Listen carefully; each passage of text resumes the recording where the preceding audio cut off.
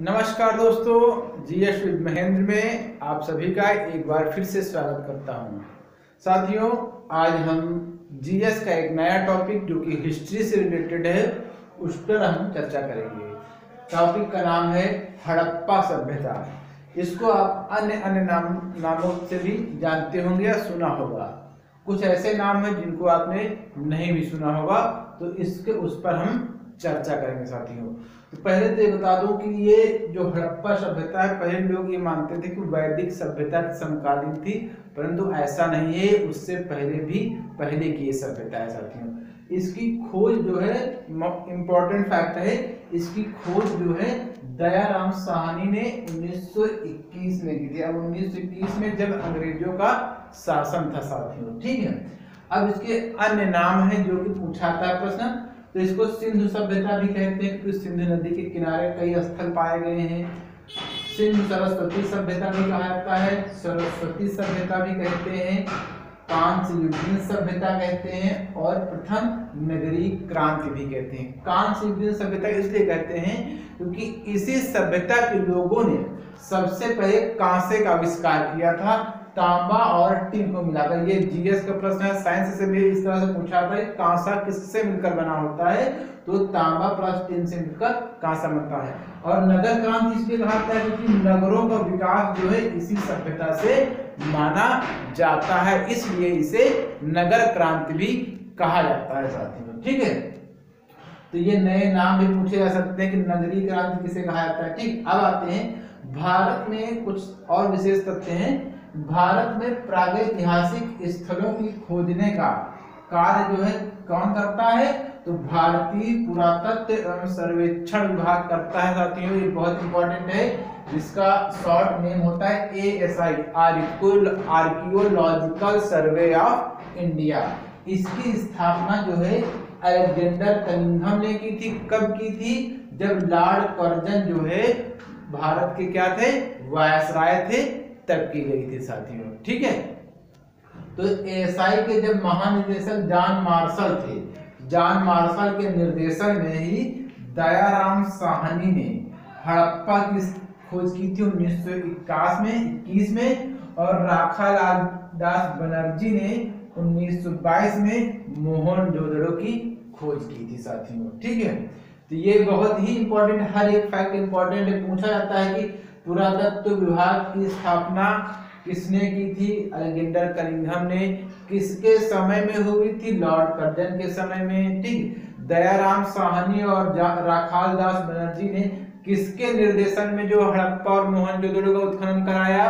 तो John Marshall के निर्देशन में, जो कि एएसआई के महानिदेशक थे। एएसआई के साथियों मतलब वही भारतीय पुरातत्व एवं सर्वेक्षण आर्कियोलॉजिकल सर्वे ऑफ़ इंडिया इसका फुल फॉर्म होता है, ठीक है?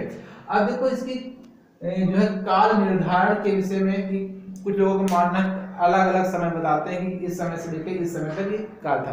तो जो सबसे प्रमाणिक माना गया है वो रेडियो कार्बन विधि के द्वारा माना गया है, साथियों। रेडियो कार्बन विधि के द्वारा माना गया है पैंतीस सौ बीसी से तेरह सौ बीसी तक, यानी कि साढ़े तीन हज़ार ईसा के जन्म से साढ़े तीन हज़ार ईसा पूर्व से जो है तेरह सौ ईसा पूर्व तक का समय जो है सिंधु सभ्यता का माना जाता है साथियों, ठीक है?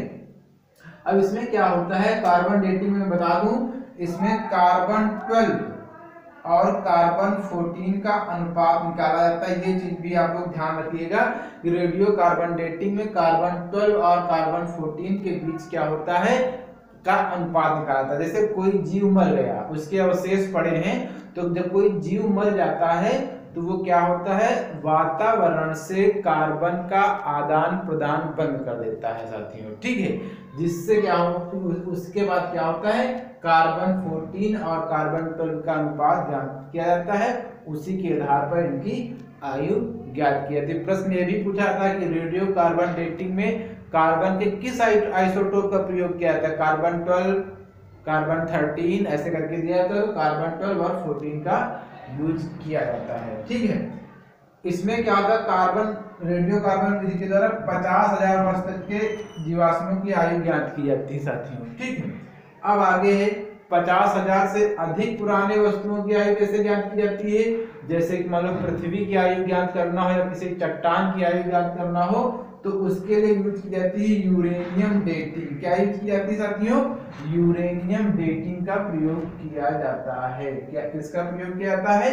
यूरेनियम डेटिंग का प्रयोग किया जाता है। सारे इंपॉर्टेंट क्वेश्चन ये भी प्रश्न पूछा गया है कि पृथ्वी की आयु कैसे ज्ञात की जाती है? तो यूरेनियम डेटिंग विधि द्वारा और किसी जीवाश्म की आयु कार्बन डेटिंग विधि के द्वारा निकाली जाती है साथियों।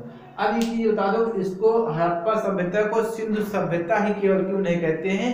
इसलिए क्योंकि साथियों, पहले ये माना जाता था कि जो अधिकतर जो है, स्थल हड़प्पा सभ्यता को सिंधु नदी के किनारे मिले हैं। मगर ऐसा नहीं है। सिंधु नदी से भी ज़्यादा स्थल जो है, सिंधु और गंगा के बीच का जो क्षेत्र है, मैदानी क्षेत्र, वहाँ पे पाए गए हैं।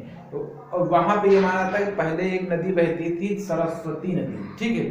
तो इसीलिए केवल सिंधु सभ्यता ही कहना इसके लिए उचित नहीं होगा, साथियों। ठीक है?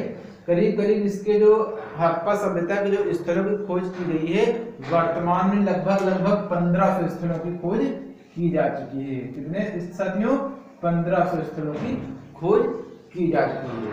अब देखिए जान मार्शल थे जिन्होंने मोहनजोदड़ो की खोज की थी नहीं जो महानिदेशक थे। तो इन्होंने जो डेट बताई है हड़प्पा सभ्यता की, बत्तीस सौ पचास ईसा पूर्व से सत्ताईस सौ पचास ईसा पूर्व। देखिए, मैंने ये दो चीज़ें बता दी मगर यहाँ से प्रश्न यही पूछा जाता है कि जीवाश्मों की आयु कैसे ज्ञात की जाती है? रेडियो कार्बन के द्वारा। रेडियो कार्बन में कौन से कार्बन के आइसोटोप प्रयोग किए जाते हैं? ट्वेल्व और फोर्टीन के। पृथ्वी की आयु कैसे ज्ञात की जाती है? तो यूरेनियम, डेटिंग विधि के द्वारा। ठीक। दिन सभ्यता किसे कहा जाता है? सिंधु सभ्यता को कहा जाता है, ठीक है? हड़प्पा सभ्यता इसलिए कहा जाता है क्योंकि सबसे पहले इस सभ्यता का जो स्थल है, हड़प्पा सभ्यता की हड़प्पा स्थल की खोज हुई थी, इसलिए से हड़प्पा सभ्यता भी कहा जाता है। इसकी खोज किसने की थी? हड़प्पा सभ्यता की खोज, हड़प्पा स्थल की खोज। दयाराम साहनी ने उन्नीस सौ इक्कीस में की थी। तो ये जितने भी हैं, मैंने जो भी लिखा हुआ है यहाँ पर, भारतीय पुरातत्व एवं सर्वेक्षण विभाग की स्थापना किसने की थी? अलेक्जेंडर कनिंघम ने। वायसराय कौन थे उस समय? लॉर्ड कर्जन थे, जो कि अभी मॉडर्न हिस्ट्री पढ़ाएँगे, ठीक है?